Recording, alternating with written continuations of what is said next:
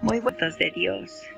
Leo Isaías 40, 29, que dice, Él da esfuerzo al cansado y multiplica las fuerzas al que no tiene ninguna.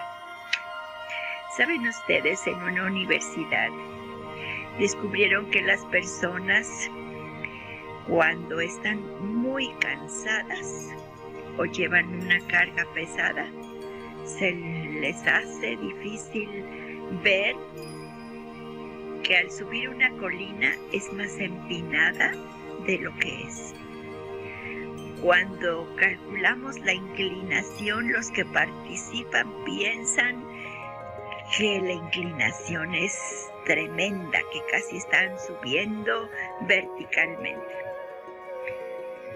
Y así, por ejemplo, si tiene 5 grados o grados, ellos se les hace como de 20 y nadie piensa que se ha equivocado tanto, solo que están cansados y llevan la carga.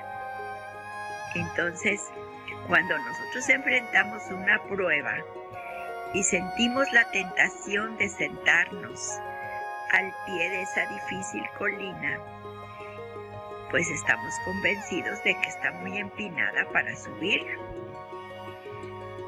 Y esto significa, en el sentido espiritual, que el estímulo único puede ser la palabra de Dios, porque dirige la atención hacia Él y no nos cansamos y conocemos que nuestra necesidad es escuchar la palabra de Dios cuando dice Dios.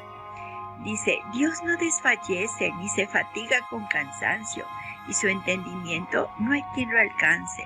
Él da esfuerzo alcanzado y multiplica las fuerzas al que no tiene ninguna. Eso lo leemos en Isaías 40, 28 y 29. Por eso leímos esta partecita del 29.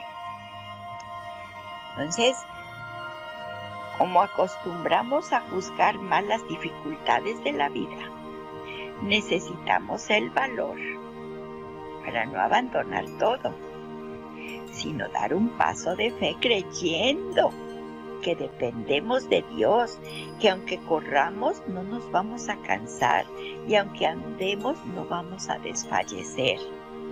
Con su fortaleza podemos conquistar cualquier montaña, cualquier colina, cualquier cerrito.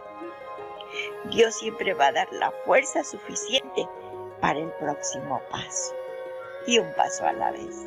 No quieras correr. Bendiciones desde el cielo, del Padre, del Hijo y del Espíritu Santo. Soy Fernanda Miriam Vázquez Palacios, desde Jalapa, Veracruz, México, sirviendo a Dios con alegría. Amén.